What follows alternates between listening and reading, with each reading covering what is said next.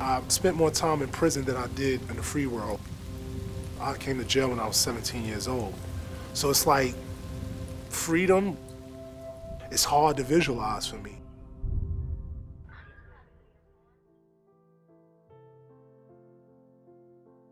Just being in prison was um, a life of just hopelessness and loneliness, and um, you're constantly worried about what your life is going to be like when you return to society. And mm-hmm. BPI not only just gave me an education, but a lot of hope and a strong desire to be a good human being mm-hmm. and to return to society and contribute. The statistics are out there that higher education for prisoners work in terms of recidivism rate, right? Mm-hmm. But the biggest problem in society is that we don't see the people behind bars, that they are people and that they are human beings. Mm-hmm. And because we see them through the glimpses of Hollywood movies and documentaries that show prisoners acting like violent and irrational beings, we don't want to help them. But this documentary is trying, trying, trying to change that narrative. We're trying to give a, a glimpse of the truth. Okay. And now give the people an opportunity to say, all right, let's reimagine this.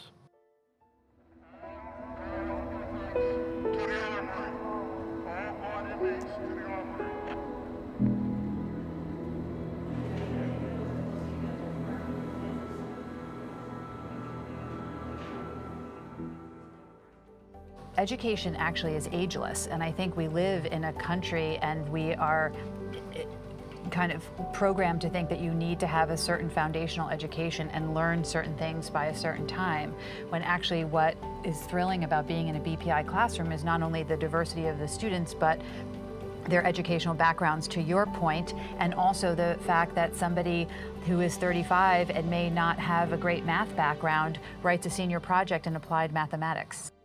So you went from Rikers to what prison? I went to Rikers, from Rikers to Sing Sing Correctional. Okay, and that, is that where you? No, it took me about four years to land in a prison where BPI functioned because wow. BPI only functions in a small amount of prisons in New York State. So what was your morale like at those prisons? I um suicidal. Mm. Yeah. Um, yeah. I, I wanted to have purpose and I couldn't find it in prison. And so this kind of threw you a lifeline. I, I like program. to tell people that it gave me life in a literal way. Because we're in prison, we're not animals. These green color, they don't define who we are. You know what defines us is, that, is our minds and our hearts, that we have moralities, even in prison. We have intelligent men, even in prison. So you picked social studies. Why social studies? You learn about others, and learning about others, you begin to empathize with them. I think what's wonderful about a liberal arts education is that it pushes you to see and imagine the world outside of what you're experiencing on a daily basis. Mm-hmm. And in doing so, you're able to not only, even though you may disagree with someone, mm-hmm. you at least are, give, are willing to give the chance to understand why they think that way and how they think that way. Mm-hmm. And me coming from a place where I was only thinking about myself, that's why liberal arts education was just something I wanted to do. Wow. So empathy. Empathy. Yeah. College, it helps us become civic beings. It helps us understand that we have an interest in our community, that our community is a part of us and we are a part of it. When I first told people that um, I got into BPI, they weren't that excited. They were like, oh, you know, good for you. Mm. Because the idea is that higher education in prison mm. is probably just something that should just give at you, right? It's right. low level. Um, you're a prisoner. They're going to assume you're stupid, so they're not going to make it hard on you. Mm. However, after having discussions with me, after uh, reading my papers, because I used to send them home sometimes, mm. they were amazed by the improvements year by year. Mm. And they're like, wow, this is really hard stuff. And I was talking about subjects that my friends could talk about, subjects right. that they took outside. Right. Yeah, so that was pretty incredible. Is there hope for getting a program like this in prisons all over the country? I mean, you talked about how the criminal justice reform debate is very alive and vibrant right, right now. And there's certainly people on the other side who still say some of the same things we heard in 94. This is okay. costly to taxpayers, why should we do it?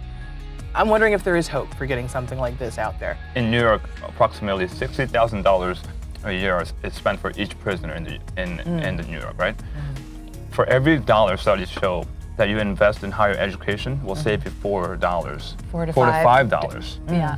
So think about again the national recidivism rate between 50 and 60 percent, and BPI's recidivism rate of 4 percent. Mm-hmm. If you do the math, you're going to save so much money. This is what I'm saying to people who are concerned with the monetary aspect of this argument, right? Mm-hmm. But and on a moral level, we also have to question what is prison for? Do we strictly just want to punish them so that they come home? Right? 95% of prisoners are going to come home. What do you want these prisoners who come home to do? If they're going to go back to a uh, prison, that means they're going to commit other crimes, and that means taxpayers have to pay more money for the sentence that they have to do again. So it just makes sense on a moral and economical level. Hey, thanks for watching. If you like this video, check out these other videos from USA Today to stay up to date with all the latest news.